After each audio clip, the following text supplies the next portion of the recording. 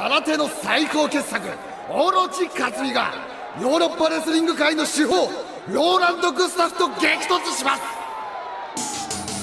いつもと同じだ。全て見える。そして全て壊せる。私の試合だ。両者元の位置へ。背中が笑ってるよ。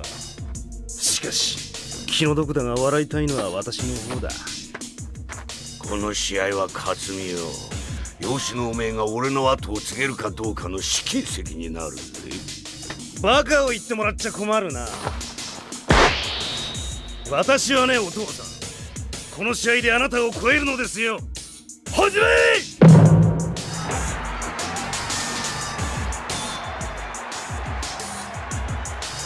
どこがいいんだいミスター空手マン。腕足肩首へし折るも断ち切るもねじ切るも望み通りにしてやる。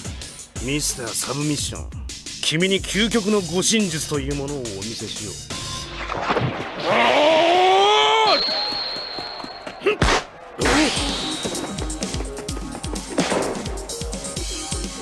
ここれは一体どういうことだ？グスタフの猛タックルに恐れをなしたか。どうしたミスター空手の貴様恥を知れ。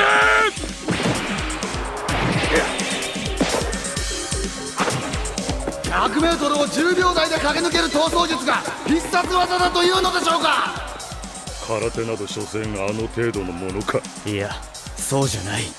あれは。同じ手が私に二度も通用すると思うか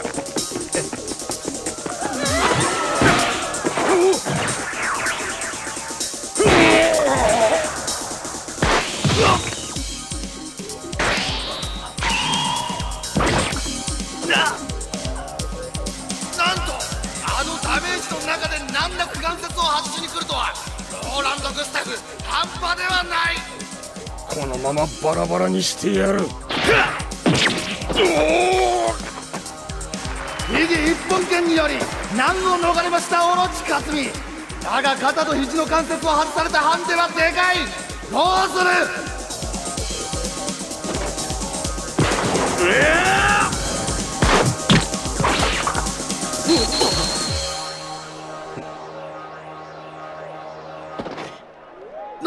ななんと死闘から放たれる遠心力で肩と肘が元通りにはまってしまった。望むところだ。そういうことなら二度とはめられぬようにしてやろう。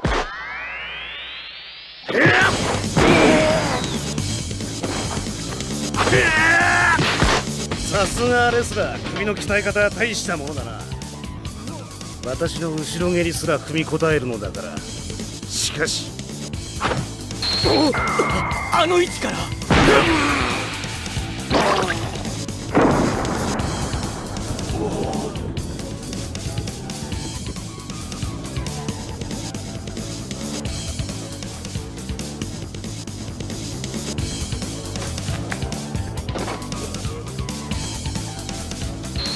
勝負は。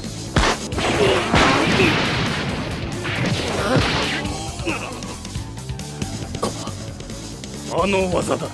お前が私を切って落とした。あの脱出不可能。の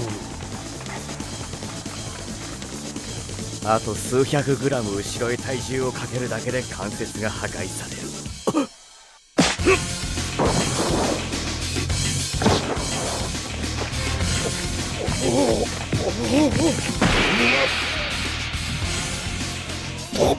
バカな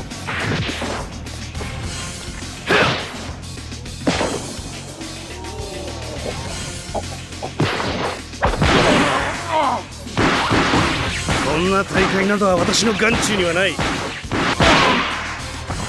私の最終目標はこの地下闘技場のチャンピオンであるハンマーバキが手も足も出なかった怪物。あの地上最強の生物ハンマー裕次郎を倒すことだ。勝負あり